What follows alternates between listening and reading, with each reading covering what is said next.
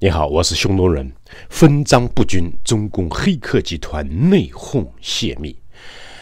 中国一家专门网络攻击外国目标的黑客公司，因为内部分赃不均，最近突然主动泄密，呃，惊呆了欧美的情报机构。呃，涉案的这家公司名叫安巡公司，英文名字叫 i 送。嗯。他们曾经渗透进入大量的外国政府机关、科研机构。呃，这个法新社今天报道说呢，安巡公司呢。自称是一家专门从事 IT 网络安全的公司，就是说呢，它本来呢是一个网络保安公司，但是呢，它现在发布的这个数据表明呢，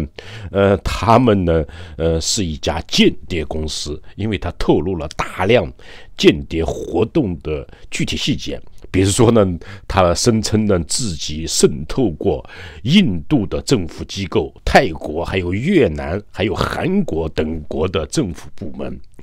呃，实在是太嚣张了。在他们主动泄露的文件中，呃，法新社还发现了泰国和英国各个部委的名单，呃，以及他们试图登录某人 Facebook 账户的屏幕截图。嗯，这个泄密爆料呢，据分析呢是公司内部人员所为，主要可能是因为对薪酬不满，因此呢报复公司，想摧毁这家公司。嗯，还有他们泄露的有一份文件，详细说明了计算机黑客的奖金，比如说呢，闯入美国，嗯，闯入越南一个部门的奖金高达五万五千美元。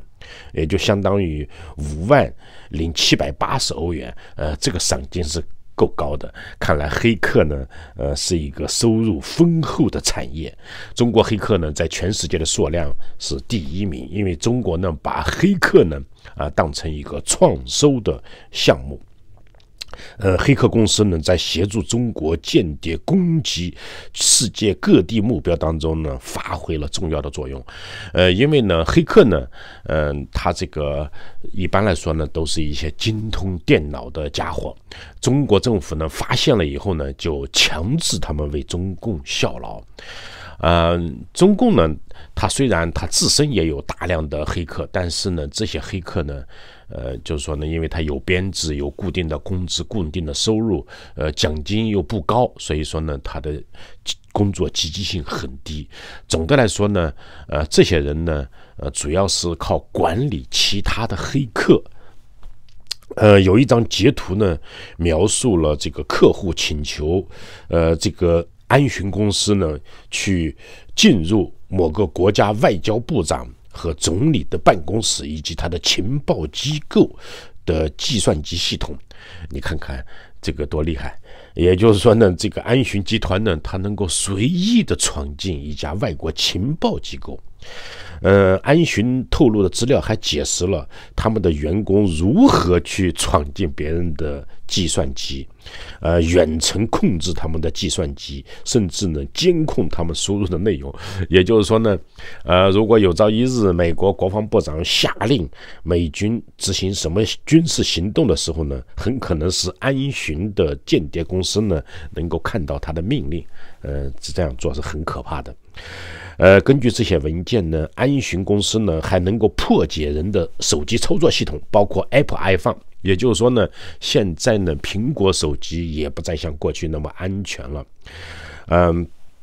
就是说呢，安巡公司呢能够弄清楚，呃，能够闯进你的操作系统，呃，来呃对你的内部进行监控。也就是说呢，你手机内部的资料，包括你银行密码、银行账户，它都能弄清楚。那么其他的你的机密内容，它也能够弄清楚。呃，安巡网站呢，今天早晨呢已经呃被暂停或者被关闭了。呃，因为中共国家安全机关呢，已经发现了大量的呃这个泄密行为。呃，但是呢，在这之前呢，国外的情报机构呢，已经大量的下载了他们主动泄露的机密文件。据了解，这家公司的总部呢位于上海，另外在北京和多个省份都设有办事处。呃，这一次呢，应该说是中国情报机构，特别是黑客集团呢，栽了一个跟头，向全世界证明了他们呢从事了大量的间谍行为。预计呢，嗯，随后呢会遭到呃一系列国家的抗议。呃，这个呃这件事情呢将会恶化中国与世界各国的关系。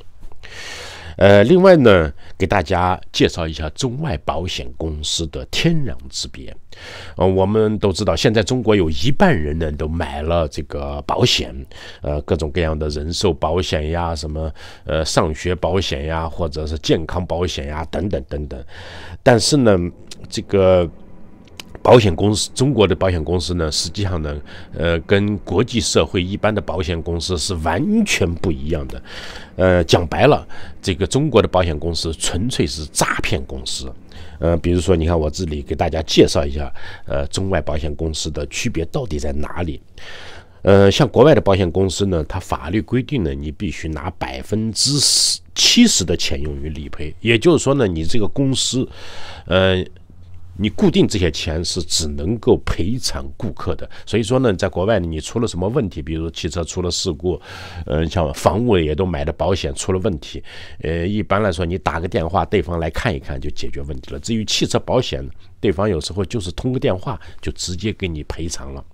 呃，也就是说呢，你买的人寿保险，只要你到期了，他马上或者出了什么问题了，马上给你赔偿，一点都不犹豫，他是先给你赔偿，即便他发现你可能有问题，他以后可以再调查，他不能说拒绝付钱给你。呃，另外呢，百分之十呢。就最多只能百分之十呢用于人工开支，实际上现在国外保险公司一般都低于百分之十，因为它相互竞争激烈。如果呃达到了这个上限，它很可能就没什么生意了。呃，另外呢，它也只能用百分之十呃来缴纳税收。也就是说呢，它这个税收呢都受到严格的限制的，还剩百分之十呢是公司的利润。也就是说呢，公司的利润实际上达不到百分之十。嗯，大家都知道的，比如说沃尔，中国的这个呃。公司的利润是从来都是深不可测的。你比如中国的这个，包括百货公司，它卖这个假货，它的利润惊人。但是呢，你看沃尔玛，它的保险，呃，沃尔玛的这个公司呢，长期利润维持在百分之一。当然呢，保险公司呢跟这个沃尔玛还有所不同，但是它的利润率，呃，公司的利润率都是很低很低的。嗯，中国的这个，呃，这个保险呢，全部保险呢，呃，就比较。这个你看，我们对比一下，中国的这个保险收入呢是百分之二十以上来缴纳税费，也就是说呢，呃，中国这个税收呢是全世界第一。呃，另外呢，中国保险公司呢大概还要拿百分之二十的钱用于行贿。呃，为什么？也许有人会问了：哎呀，保险公司需要行什么贿？需要行贿？呃，因为他给公检法、纪委还有各级领导，呃，都得行贿。如果他不行贿的话，比如说在中国很多人他买了保险，花了几十万，最后拿不到保险，他就要去控告，就要去上访。那么谁来保护保险公司呢？那就是，呃。就是公检法呀，以及还有打击上访的解访办公室呀等等，但这些人都是需要钱的，这些人呢都是很贪心的。但对于中国保险公司来说，杀一儆百，反正打倒一个，干掉一个，其他的一百个人都不敢去告状了，不敢到去法院去立案了。这样一来呢，它总的来说还是划算的。所以说呢，呃，中国保险公司必须要拿百分之二十来行贿，还有一个呢，监察部门你也得给他钱，任何领导你都得要经常的。塞钱，你不塞钱以后，他就说：“哎，你这家保险公司为什么不赔偿人家？呃，这个，呃，就是说买保险的客户的损那个那个那个赔偿金啊，呃，等等。呃，中中国保险公司呢，还有据说呢，高达百分之二十的钱呢，用于业务员的培训，就是告诉他们怎么样把钱骗到手里，你就赢了。然后呢，你就可以分赃。实际上呢，这个呢，呃，不光是这个啊，培训。” 哎，这还包括给他给他们提成。这个提成呢，当然不光给这个新的业务员，也给各级的经理啊。你去讲讲课，然后呢，你就拿到钱了。据说呢，中国保险公司呢给客户的赔偿的理赔呢是少的可怜，有的说是百分之零点五，有的说百分之一，还有的说百分之五。但总而言之，就那么一点钱给你赔偿，而且呢，那都是有关领导批条子或者特殊情况的。呃，另外呢，据说中国保险公司呢还花百分之十呢用于跟客户耍赖。官司，嗯，因为中国也有大量的官司，呃，最后呢在法院进行。反正呢，呃，你请的律师肯定不如保险公司请的律师，因为保险公司可以请一些的最无赖的律师，跟这个法官关系最密切的公司，呃，来给你打官司。而且据说中国保险公司的纯利润呢上不封顶，可以高达百分之三十。所以说呢，你一旦买了中国保险，你就等于白白的付钱，呃，给了这个一帮子骗子。呃，另外呢，今天给大家分享一下呢，这个高干僧人在秦城监狱。我们都知道，中共的高干呢是世界上，呃，就是说呢，呃，享受就是各种待遇最好的一个团体。但其实呢，这是这这群人呢，只是表面上这个待遇很高，实际上他们不过是一些高级奴隶或者高级僧人而已，高级牲口而已。嗯，你比如说，呃，我们都知道中共高干呢，呃，犯事以后呢，很多会被关押在秦城监狱。秦城监狱有时候呢，它这个标准不一样，有时候是专门关部长级的高干，有时候是副部长级的高干。以上的高干，但是呢，嗯，他的这个表面上条件是不错。你比如说，他牢房里面每间牢房呢有十几个平方，甚至最大的时候呢有三十多个平方。但是那个牢房里空空荡荡，什么都没有，只有一张矮木板床。而且被褥很薄，还有一个呢，中国的牢房有一个奇特的规定，就是所有的牢房都是没有枕头的。我在监狱待了十六年，也没有枕过一天枕头，啊，都是你自己呢整衣服，呃，或者整鞋子，诸如此类的。这对于那些的中共的部级高办来说，长期都是一种折磨，因为他们一般都有颈椎病呀，都脖子不好啊，或者平时享受惯了，呃，所以说呢。呃，他们没有枕头呢，直接让他脑袋放在这个木板上面，那是很痛苦的。呃，不过呢，我看到呢，中共高干在秦城监狱，呃，受到最严重的虐待呢，呃，这就证明了他们在中共眼里，他们仍是些高级牲口呢。就是说呢，呃，秦城监狱规定呢，夜里睡觉的时候呢，必须面朝门上的哨兵观察孔。这个难度有点高，啊，这是需要长期的、多年的训练才行啊。因为我在监狱蹲了那么多年，一般的看守所都没有这个规定。因为我们凭常识都知道，人睡着了以后呢，你怎么能面孔朝着一个方向呢？对不对？啊，你经常转换方向睡啊，呃，要么有时候头朝上、头朝下。呃，当然，中国看守所那么可能呢，他有这个规，那可能他可以实际上做到这一点，因为中国看守所很多睡觉的时候只能侧着朝一个方向睡，可能朝着门口睡，他规定好，你也无法翻身，你一翻身把别人弄醒了，那呃就是就是吵架打架的事情，呃，但是呢，呃，这个在牢房里只有关押一个人的情况下，还必须他面朝那个观察孔睡觉，这个呢可以说是一种酷刑。呃，因为你不朝着那个方向睡的话，哨兵随时就把你弄醒，而且他规定你整夜不许翻身的，呃，也不准仰睡，啊，这个呢，的确是一种莫大的痛苦。由此的，就可以断定，中共高干呢，其实通通都是牲口，因为，呃，讲白了，讲白了，牲口都不会如此悲惨。我没见过哪个牲口棚里面那个，呃，牲口的这个主人会残酷到说啊，你必须脸朝着这边睡觉，啊，否则的话呢，就揍你。呃，而且呢，如果你要是不服从的话呢，看守呢，那能给你折磨的生不如死。呃，即便你没有任何错误，看守都经常呃没事折磨你。比如说呢，甚至要求你冬天呢又没有暖气，但是呢，他规定你胳膊必须放在外面，所以呢，从前城监秦城监狱出来的人呢，胳膊都会挨冻。呃，另外呢。啊，这个狱方呢还纵容看守，也就是看守干部对犯人进行各种形式的人身侮辱和折磨。实际上，秦城监狱里关押的人，大部分人都是无辜的，有的人关了八年、十年都没有受到审判。你比如说，呃，孙中山的老婆宋庆龄在秦城监狱关了八年，呃，根本就没有什么罪名，呃，一开始就说他是婊子，然后就把他关押起来了。呃，还有呢，这个像他们这些囚犯呢，还无缘无故的被罚站半天。也就是像宋庆龄一样，啊，你以前交代一下，你以前跟孙中山怎么睡觉的？宋庆龄说不清楚啊，罚站半天。这个还有动辄训斥谩骂，这个辱骂，甚至呢被叫到小窗口往脸上吐吐沫，啊，就是比如说宋庆龄啊，过来，过来以后呢就把你手伸出去，然后呢。打一顿，然后再把脸靠着小窗口啊，看守呢就可以往他脸上吐吐沫，反正没事就是折磨他，甚至呢把滚烫的稀饭烫在他手上，就故意把他的手烫红、烫肿，甚至烫伤。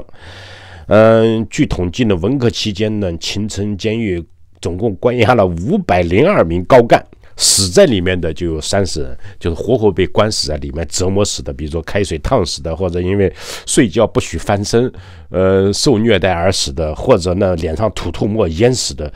总而言之呢，有三十个人被活活弄死，另外呢还被打伤致残二十余人，呃，此外呢还有六十多人患了精神病。也就是被天天这样折磨来折磨去，嗯，那真的是一种酷刑，每天都是在折磨你，嗯，由此看来呢，这个中国的监狱，哪怕最好最好的最高级的秦城监狱呢，也都是十足的魔窟。嗯，大家都知道，严明富呢曾经是中国中央政治局委员，他的父亲严宝航呢，一九六八年被整死的时候呢，他被关也被关了进去，他还一直都不知道他的父亲就死在那个牢房里面，就是说他父亲刚死，儿子就被给他关。在同一个牢房里关了，呃，一关就是八年。还有北京以前的市委书记刘仁，那也是政治局委员啊。结果呢，呃，一直呢进了牢房就戴着手铐，然后一直到活活铐死。据说秦城监狱呢，都是没日没夜的有人在鬼哭狼嚎，因为那个那么多的精神病，他每天都要号嘛，都要叫。还有一些人呢，就想着怎么样出狱，就整天喊毛主席万岁，嗯。当然呢，也有受不了侮辱、痛骂看守的或者骂娘的，呃，经常呢，他们要遭到暴打，呃，就是看守把门打开，带着几个二老拐进去，给他踩住，用脚踩住，然后没头没脸的就用皮皮带抽，用那种苏联皮带很宽的，还有用那个鞋底来抽，打得他们鬼哭狼嚎，呃，往往一。一嚎都是好几天，因为呢被打的丧失了理智，也或者呢是打完了以后呢也没人给治疗，简直呢就是一座疯人院啊！中国的监狱呢，呃，其实呢，呃，秦城监狱简直就是一个代表，它是非常非常恐怖的，非常非常可怕的。我现在都难以想象，我曾经在中国这样的地方待了十六年，呃，所以呢，我有时候在想，呃，为什么中国那么黑暗呢？因为中国有良心的人呢，呃，都。被折磨死了，都被折磨残废了，剩下的人都害怕了，都望而却步了，就没有人敢为中国的社会正义，呃，为公正，呃，为理想想，或者说为信仰，很少很少有人敢为此而奋斗，因为奋斗的结果呢，就是进入黑暗无边的监狱，受尽残酷的折磨。